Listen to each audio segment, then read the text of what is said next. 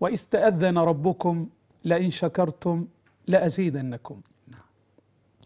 الله يقول فاذكروني أذكركم واشكروا لي ولا تكفرون.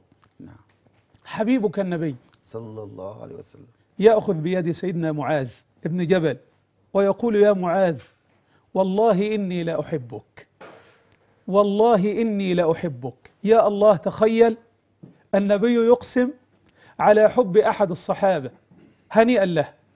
تخيل أنت أيها المشاهد الكريم أن النبي يقسم على حبك. صلى الله عليه وسلم. فيقول فلا تدعن في دبر كل صلاة أن تقول اللهم أعني على ذكرك وشكرك وحسن عبادتك. الله أكبر. نعم. هذه هدية من الحبيب المصطفى صلى الله عليه وسلم للصحب الكرام ولكل محمدي آمن بالله ربا وبالإسلام دينا وبمحمد سيدي وحبيبي نبيا ورسولا صلى الله عليه وسلم. يا رسول الله. صلى الله عليه وسلم. الشكر أن يخضع القلب ويعلم أن ما بك من نعمة وما بكم من نعمة فمن فمن الله. نعم. وأن يقر اللسان بالثناء الجميل والذكر الحسن والشكر لصاحب النعم وهو الله عز وجل. نعم. وأن أطبق هذا الشكر على الجوارح والجنان. نعم. كما علمنا المصطفى صلى الله عليه وسلم. نعم. إذ كيف بي ينعم ربي علي بنعمة الصحة وأسمع حي على الصلاة حي على الفلاح ولا ألبي.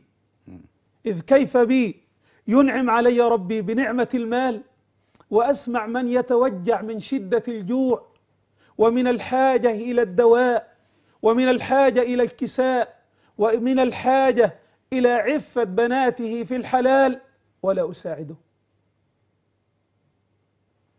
الشكر حصن حتى لا تزول النعم.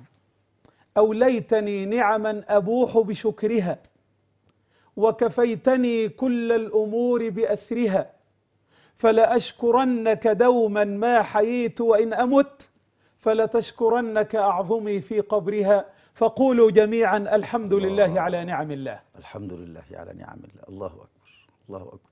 شكر القلب يأتي بعده شكر الجوارح. ولكن وما زلنا في شكر القلب. وكيف نعلم أن القلب شاكرا؟ الحبيب النبي صلى الله عليه وسلم. عندما سأله أحد الصحابة ما أتخذ يا رسول الله؟ أريد أن أتخذ شيئا يكون لي عونا لي في حياتي. ويكون طريقي إلى الجنة. نعم. فيقول له النبي صلى الله عليه وسلم اتخذ لسانا ذاكرا وقلبا خاشعا وزوجة تعينك على أمر دنياك وعلى آخرتك. الله. الحبيب المصطفى. هذه المأخوذات التي أوصى بها النبي. التي أوصى بها رسول الله صلى الله عليه وسلم. صلى الله عليه وسلم. الحبيب المصطفى نفذها بنفسه النبي يقوم من الليل حتى تتورم قدماه حتى تتفطر رجلاه. فتقول له أمنا عائشة يا رسول الله أو تفعل هذا؟ وقد غفر الله لك ما تقدم من ذنبك وما تأخر. فيقول يا عائش أفلا أكون عبدا شكورا؟